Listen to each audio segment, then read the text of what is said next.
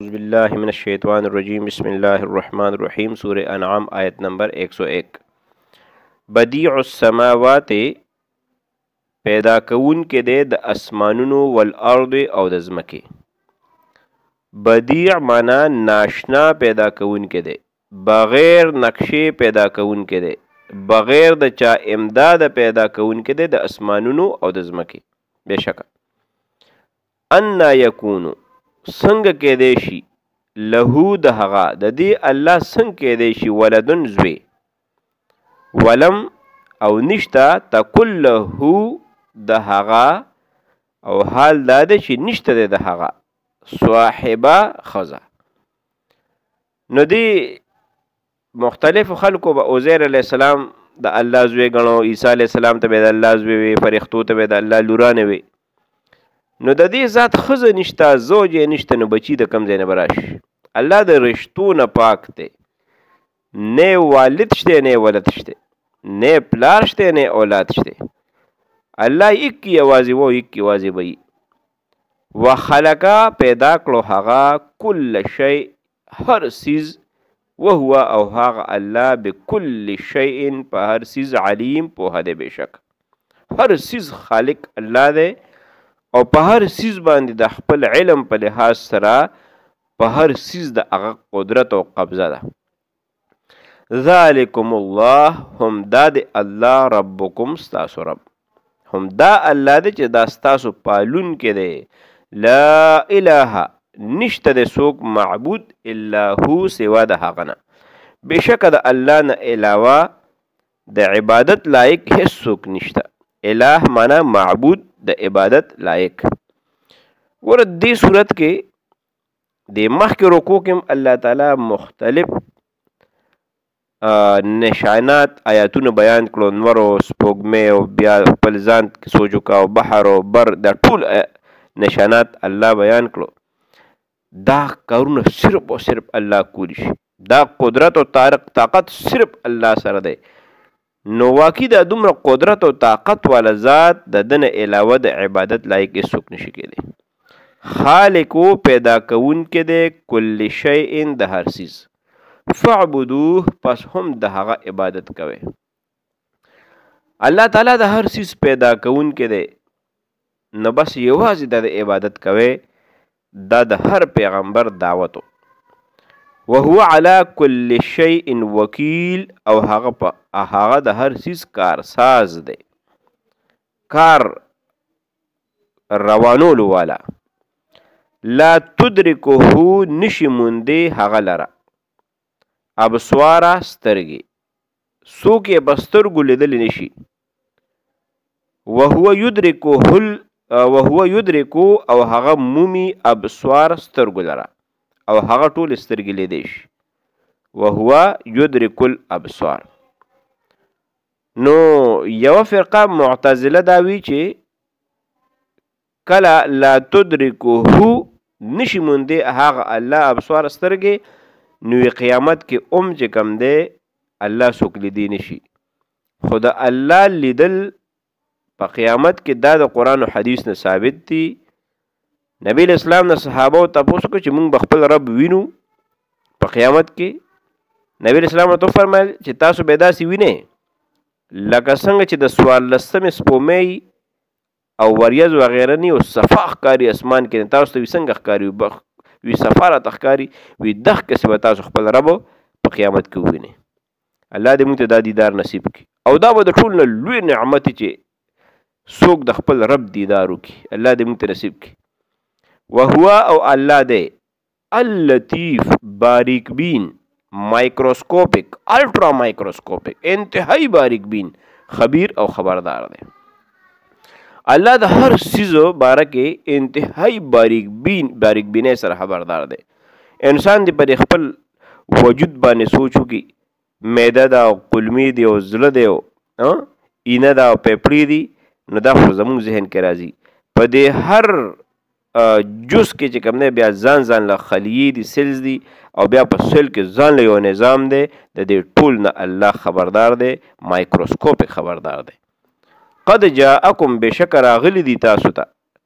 بصائر دلیلنا من ربکم تاسو د رب له طرف نه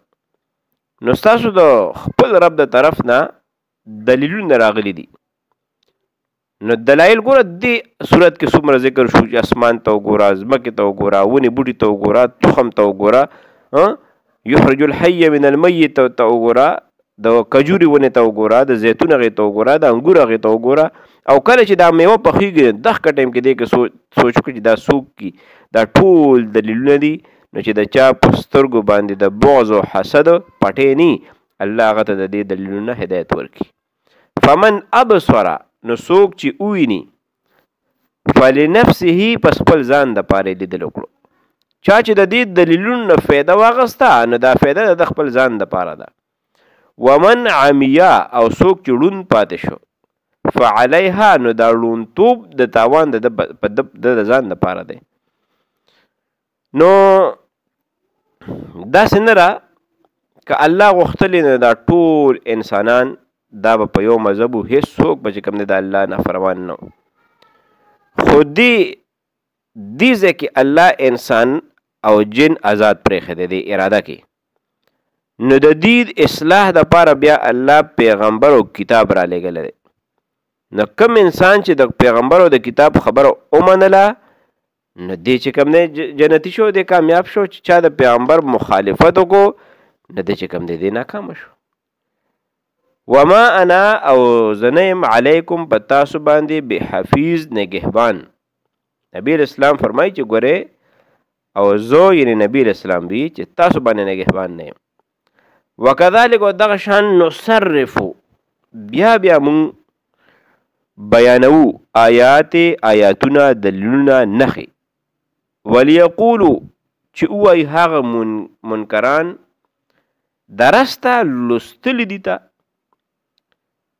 نو دې کافرانو به نبی اسلام ته فرمایل ویل به ورته چې دا قران تا ته سوکخي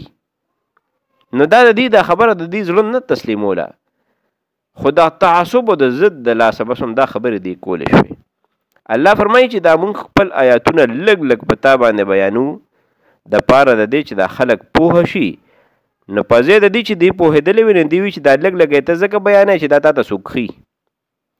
ولنبینه او چې مونږ خو واضح کو لقوم یعلمون پوهیدونکو خلکو لپاره داسې قوم د پاره چې هغه پوهیږي هغه ځان په هول غواړي اتبع پیروي وکا ما د هغه سو اوحیا چې وحی یې شوی ده الیکا تا تا بس ته د خپل رب د وحی تابعداري کوه مې ربکا ستاده طرف د طرف نه نه وحی څه ده دا قرآن او حدیث دی لا اله نشته د څوک معبود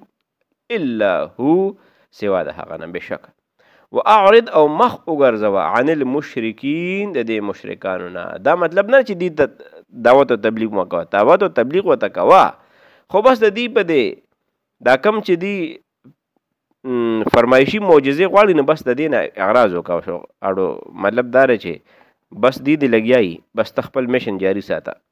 ولو شاء الله او کچرې غوښتلی وي الله ما اشرکو نو دی به شرک دا به دی نه وی کړی وما جعلناک او نه جوړ کړی مونږ ته علیهم په دی باندې حفیظا نگران وما انت او نه تو علیهم په دی به وکیل ذمہوارم نه د دی بس تا په ذمہ صرف او صرف دار چې واز نصیحت وکا او زما پیغام ورسوه ولا تسبو او کانزل مکوي الذين يدعون هاغو هاغو تکنزل مکوي کم چې دا مشرکان عبادت کی د کومو سيزونو د کومو ګټو لوټو او بوتانو چې دا مشرکان عبادت کی نو ولا تسبو هغه ته کنزل مکوي لا تو غزاتو او منات ته کنزل مکوي من دون الله سوا د الله نه ځکه که چېرې تاسو د دې ګټو لټو ته او د بوتانو ته کنزل وکړي نو دی به الټه الله ته کنزل کی اعلان کې دی به پوه نه فیسبو پس دوی به کنځل وکړي الله الله ته عدوا په زیاتې سره په ناپوهۍ سره بغیر علم بې د علم نه ندی په دشمنه د دشمنه په وجه باندې با د بغض او حسد په وجه باندې با دي ته الله دی با الله ته کنځل وکړي او حال دار چې دی به علم نه لري پويږي بنه کذالک دغه شان زینا خیسته کړم خیسته کړی دی مونږ لکل امت هر یوې ډلې د پاره عملهم د دې عمل هر امت ته خپل خپل عمل خیسته ښکاره شوی دی ثم بیا الی ربهم د خپل رب طرف ته مرجعهم د دې واپس تللی زموږ ټول واپس تلل الله طرف ته دي الله ته زموږ د ټولو چې کوم دی دا پیشي راتلونکې ده فینبئهم پس هغه به دوی ته وښیي بما کانو یعملون څه چې به دوی کول الله تعالی دې ما ته تاسو ته په دې قرآن باندې عمل کول توفیق راکړي واخر دعوانا الحمدلله رب العالمین